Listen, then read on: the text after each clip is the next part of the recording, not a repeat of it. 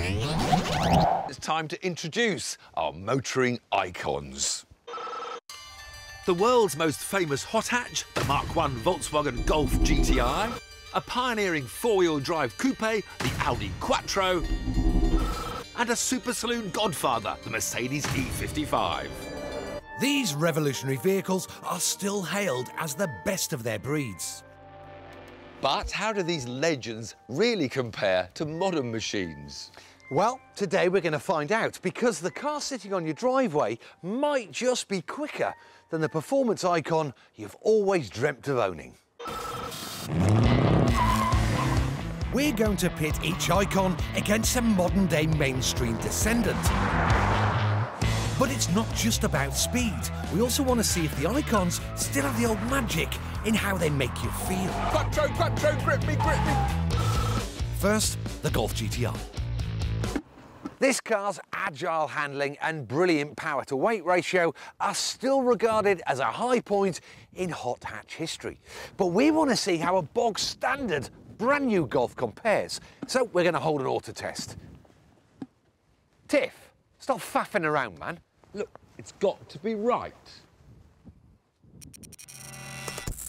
Our fifth gear auto test will give us an insight into each car's combination of acceleration, braking and agility.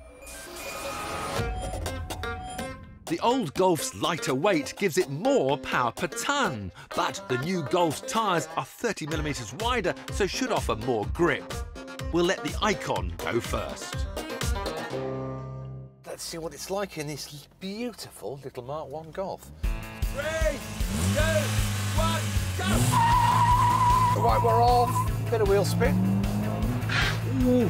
Oh, yeah, fighter, that was a gear. I think he missed a gear there. I tell you what, it feels quite sprightly and very light. See what the brakes are like. Go for the garage! Ah! Felt better. So reverse flick time now. Get some speed. Right. Although I do feel as if I'm being a bit rough with it. It doesn't turn very well, but I think that is to do with the tyres on it. You can't really call these low profile and they make the handling a bit lazy. Right, and then a handbrake to finish. And... Well, look, wind down windows. Was there a missed gear at all on the way down? Sort of. I, mean, I got a terrible cough. Well, 43.0 sets the pace for the old Icon. How did it feel? The one thing that sticks out is just how light it is. I've forgotten what light cars are like. This is half a ton lighter than the other one. Under 850 kilos. It feels great. It feels great. I mean, it's a bit lazy and a bit sloppy, and but yeah, it's lovely, isn't it? Get another car. Mind that gearbox. The trademark inside rear wheel lift under heavy cornering is a result of the Golf GTI's soft front suspension. When compared to modern cars, it feels lazy and imprecise. Now to find out if a run-of-the-mill, diesel-powered new Golf is faster. Place your bets. Right then, 43.0 to beat. To make it fair, I've attempted to turn all of the electronic toys off. Right. But I might struggle with the handbrake. I can't hear you very well. It's a lot of noise under your bonnet. Oh, but it's a diesel. It's oh, it's a oil burner. diesel. Yeah. I might struggle with the handbrake. Are you ready? Because there isn't one. Are you ready? Hold on. Let me get my safety thing sorted. Three, two, one, go! Oh, it's good off the line. Wow, I tell you what, it's nippy. It's such a different car. Brakes are much, much sharper. Oh, Vita, she's a really fantastic J-turner. This is just a different kettle of fish. So much more grip and poise and agility. All right, let's have a, how do we get in here? Switch. Well you, you haven't parked Yeah, properly. but look, I've got no handbrake. How much quicker do you think it was then? Two, two seconds. Nearly three. 40.1 Really? As much as seconds. For the little shopping diesel beats the icon. It's a revelation. Despite the new Boggo Golf weighing around half a tonne more, it beats the hot hatch Grandmaster mostly thanks to all the torque of its super efficient TDI engine and lower profile tyres. Its looks may lack the Mark 1's character, but it's three seconds faster, and that's all that matters. So it's 1 0 to the new kids on the block. It's time to crack on with round two of our Petrolhead Icon Track Day. We're finding out how the legends we lust after, like the Mark 1 Golf GTI, Audi Quattro and Mercedes E55 stack up against today's everyday cars. Do they still deserve their iconic status?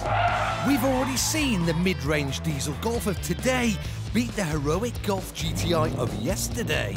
And now, we're stepping it up a gear.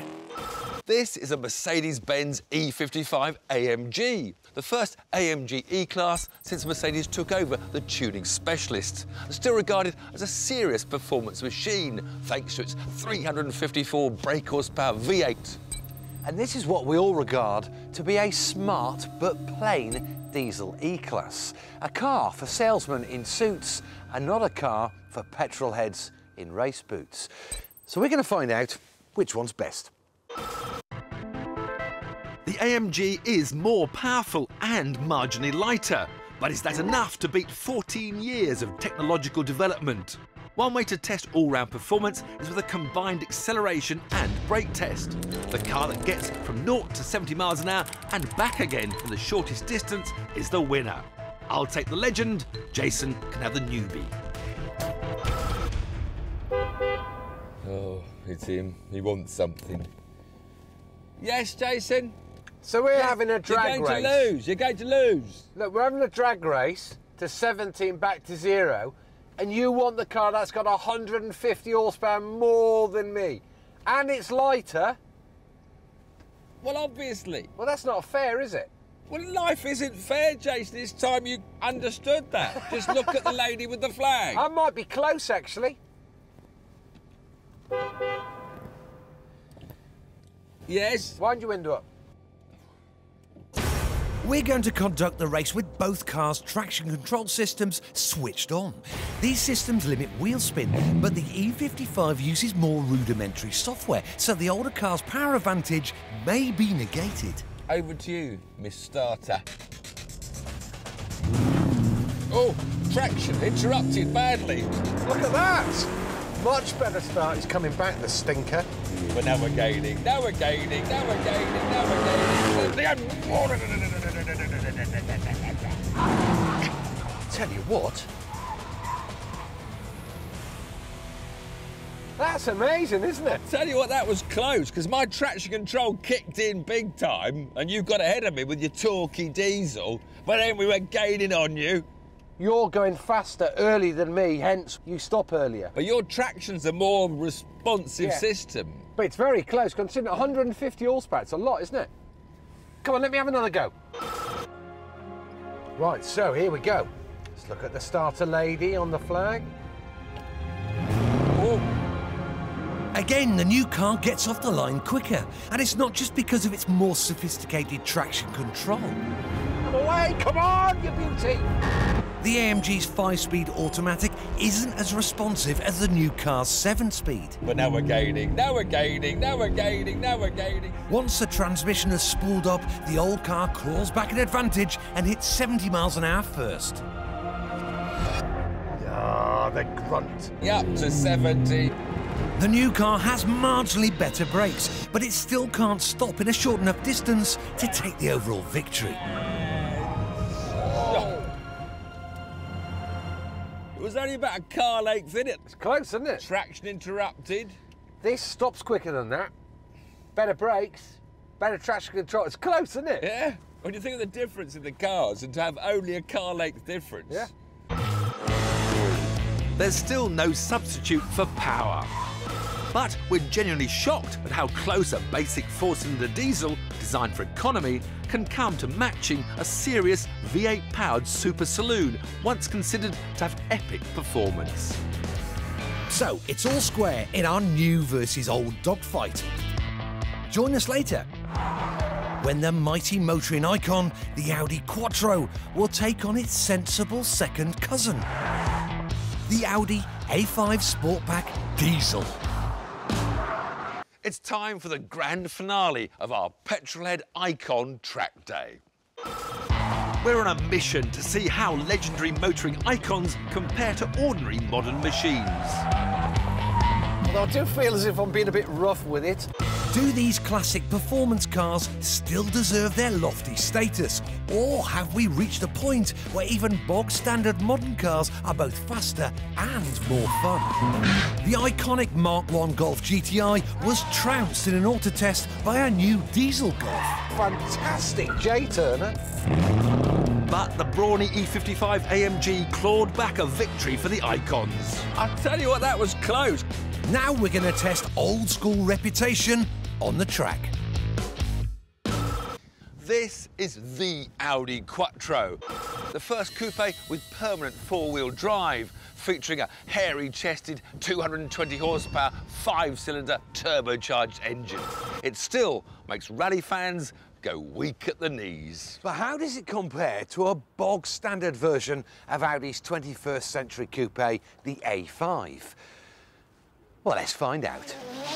Sì, fate un altro per rechts minus 1, sofort Mittel links plus 6. The Quattro's story began in 1977 when an Audi engineer was so impressed by the advanced four-wheel drive system of a Volkswagen military truck that he transferred it into a prototype road car.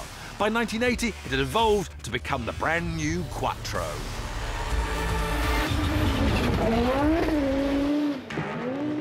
But 34 years have passed since the Quattro was born, so can this diesel front-wheel drive A5 get around the track quicker? We're going to pit them head to head over a two lap race to find out. We reckon it's going to be very, very close. Right, so we've got a bit of a race between me and Tiff. What's gonna go on?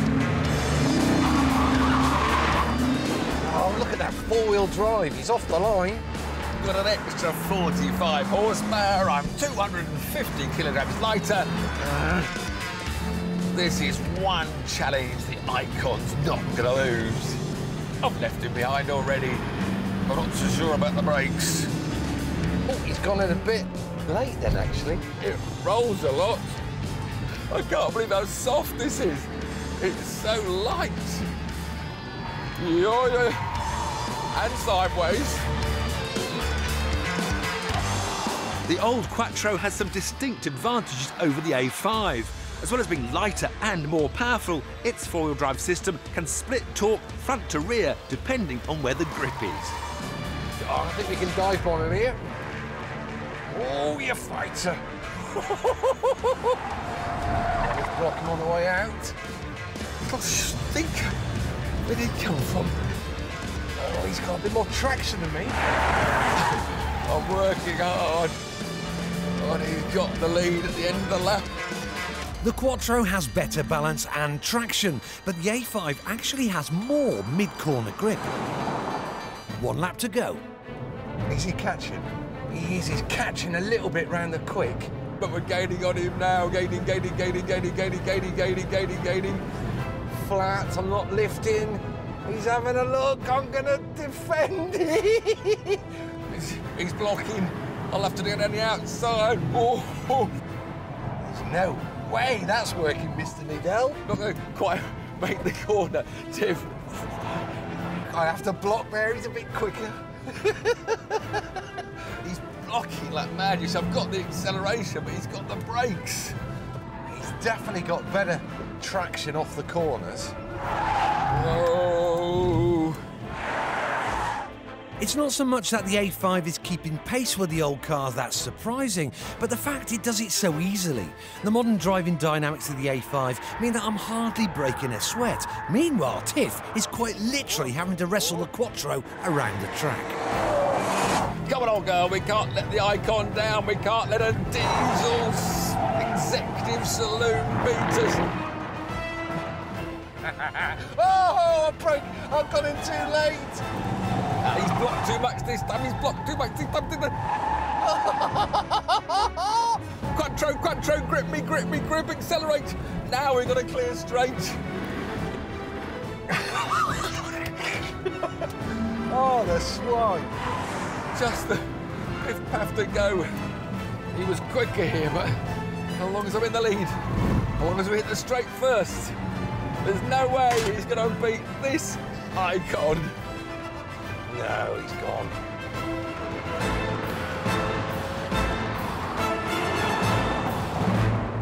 Amazing result, actually, because I remember that Quattro being a fire-breathing monster. And that's pretty close. Well done, Audi Quattro. You've saved the day for the icons. So the original Audi Quattro wins our race around the track, and the result gives a 2 to 1 victory to our iconic cars. The newbies may be safer, grippier, easy to drive, and more agile, but the appeal of the classics lies in their charisma and the smile they put on your face. These will remain icons for some time to come.